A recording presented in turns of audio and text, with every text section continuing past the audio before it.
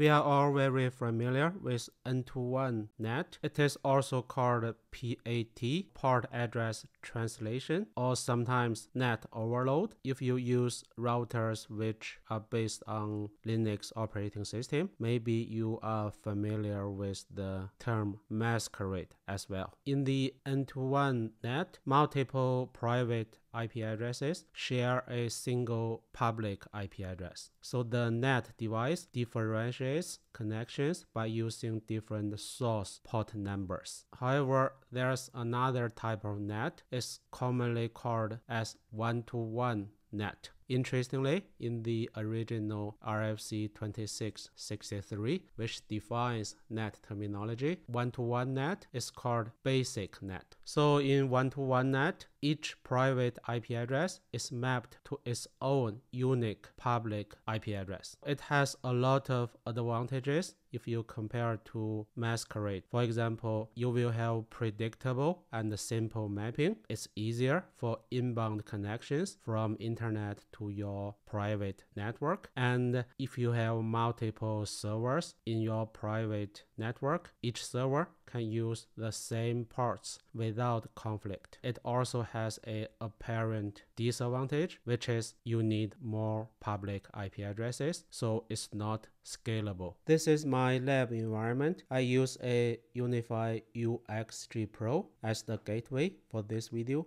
So this lab environment is within my main gateway, which means the WAN port IP address for the UXG Pro is also private IP address. But it doesn't matter because when it comes to NAT, it works in the same way. So I'm going to use three different IP addresses for the WAN port for this video. It works in the same way if the WAN is directly connected to internet. Okay, in UniFi network applications, in network settings, I have VLAN 10 and VLAN 20 defined. I'm going to use VLAN 10 to simulate DMZ. I will run two Linux servers in the DMZ to provide services to the internet. Then I have another VLAN, VLAN 20. I'm going to use it to simulate LAN. In the lower part of the screen, the third window is for a machine in VLAN 20. Okay, to start the video, let's see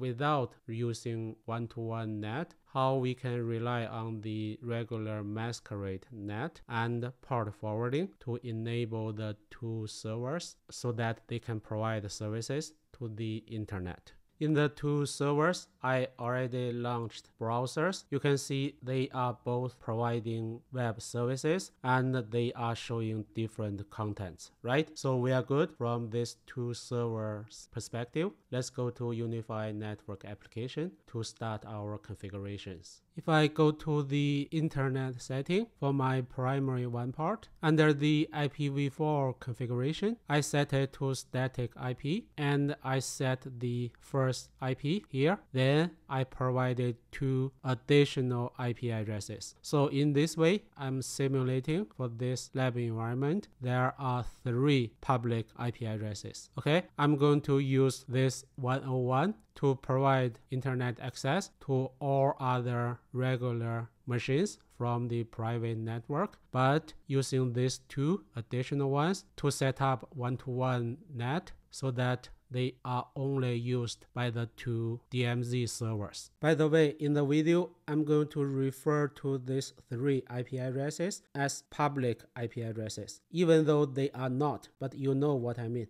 because now for the same WAN port, I have three public IP addresses, right? Just to confirm which one is used for internet access by default, I already launched a Wireshark monitoring the WAN port. Then from the three different Linux machines, let me ping 9999 just to see what's the IP address used in WAN port. So let me start from the server one, ping 9999 just once you can see the 101 is used. In the right side, you can see 101 is the first IP address I provided, right? Then let's try server number two, the same 101. Then let me try the third machine, LAN client. The same result, 101. So by default, without any configuration, even though I have three IP addresses, only the first one is used. Okay, now let me achieve the effect for the two servers to be able to provide services without configuring one-to-one NAT. Let's simply use the masquerade NAT plus port forwarding. Let's check the current NAT rules. Go to policy engine for NAT. You can see there are two system generated masquerade rules by default. The second one is for secondary WAN port. We can ignore it. For the first rule is for primary WAN port. You can see the reason all the three Linux machines they use 101 is due to this masquerade rule. So the system hard coded to use the very first public IP right? That explains, but we do not have any other NAT rules. Then if we check port forwarding, you can see I have no any port forwarding created yet. Now we are ready for the first DMZ server. I want to open the port 80 so that this particular web server can use the 102 IP address to provide service. To achieve that, I need to create a new port forwarding let me say port forwarding 102 port 80 to DMZ server 1. Then the WAN interface is primary WAN port, no problem. But the WAN IP address, I want to choose 102. I don't want to use the main IP address. And then for the part, for this particular port forwarding, I only want to open up port 80. Then the forwarded IP address, I need to specify the server 1's IP address, which is 192.168.10.66. And the forward port should be 80 is TCP UDP. Okay, add is created. Then quickly create a second port forwarding for the server number two. This time choose the 103 IP address. Create. Okay, now we have the two rules ready. Then from this virtual machine, which is running outside of this lab environment from the WAN port. Let me use a browser, try to access the three public IP addresses of this lab environment. Try the first public IP address 101. There's nothing, that's expected. Then let me change it to 102. See, it's showing the server 1's web page. Then let me try 103. Okay, it's server 2, right? It works exactly as we expect. So then you may ask, this port forwarding plus masquerade rule already works perfectly. What's the point to implement one-to-one NAT? Yes, if you only want to provide one service from each server, maybe this way works for you, right? But what if for this server you have multiple services to provide? Then you have to create multiple port forwarding. That's time consuming and that leads to a lot of future maintenance effort. For example, from this DMZ server 1, you can see it does provide SSH service, right? However, if from the outside machine, if I try the public IP address, you can see it doesn't work. Why? Because we haven't opened up the port 22 for SSH service, right? So this is the disadvantage of using the port forwarding approach. In fact, by implementing port forwarding, we are only trying to simulate the one-to-one NAT in this direction, the DNAT direction. We haven't done anything in the other direction yet right? At this moment, if we try to access internet from these two DMZ servers, they will still use the original 101 IP address. So we are not really done with the setup yet. But in the interest of time, I won't talk about this direction. But you may already realize if we don't implement real one-to-one NAT, there will be a lot of maintenance effort waiting. Now let's try one-to-one NAT. Before configuring one-to-one NAT, let me delete the port forwarding we created in previous scenario. Remove all. Then if I go to NAT, we only have the two system generated default masquerade rule, right? I don't want to touch them. Instead, I want to create new NAT rules. So let me create a new policy. It's NAT, then give it a name, one-to-one NAT, SNAT for DMZ server 1. For NAT type, I need to choose source NAT. It is still primary WAN port. For the translated IP address, I want to select 102. Remember, I want to map this 102 to the DMZ server 1, right? Then IPv4, no problem. For protocol, I leave it to all because this is for one-to-one NAT. I want to transparently map everything between the public IP address and the private IP address, right? So then for source, this is SNAT. So I need to specify the source IP address specific. And here I need to provide the private IP address for the DMZ server 1.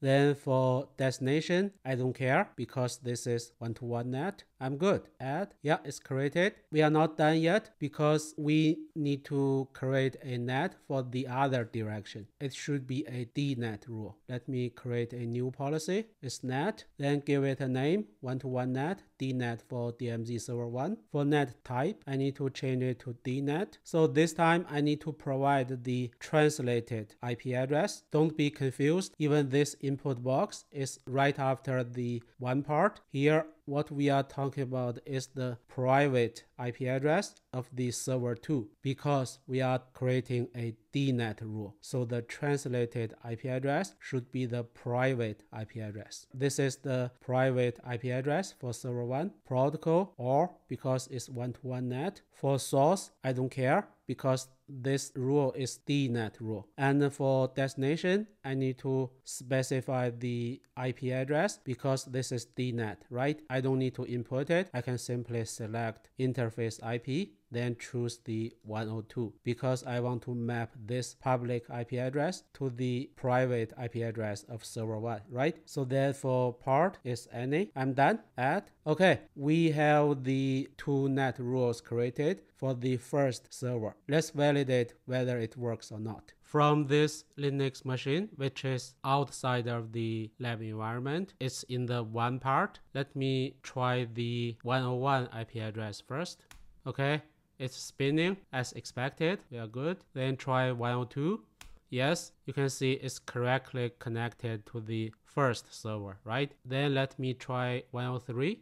It seems it's connecting to the server too, but it's just because of the cache of our previous try. So if I force a refresh, you can see it's spinning. It cannot connect to the server 2. In fact, what we just proved was the DNAT rule worked. So then let me try another way, which is from these two servers, let me try to access internet to see whether they are using the expected public IP to access internet. Oh, I just realized when I create the SNAT rule, I had a typo. So the source IP address is in VLAN 10, it's .10.66 okay apply changes okay let me repeat the ping testing to validate whether the SNAT rule works I already restarted Wireshark from the DMZ server 1 let me ping 9999 Okay, see the source IP address is 102, exactly as we specified in the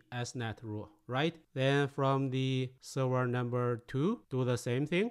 Okay, see the source IP address is 101. Why? Because we haven't created the one-to-one -one NAT for the server 2 yet. That's why it is still using the masquerade rule. That's why the IP address is 101, right? Then for the regular LAN client, I expect to see 101 as well exactly it's 101 okay for the DMZ server 1 the testing was successful. Now let me quickly create the one-to-one -one NAT for server 2 so I will fast forward because it works in the exactly same way as the server 1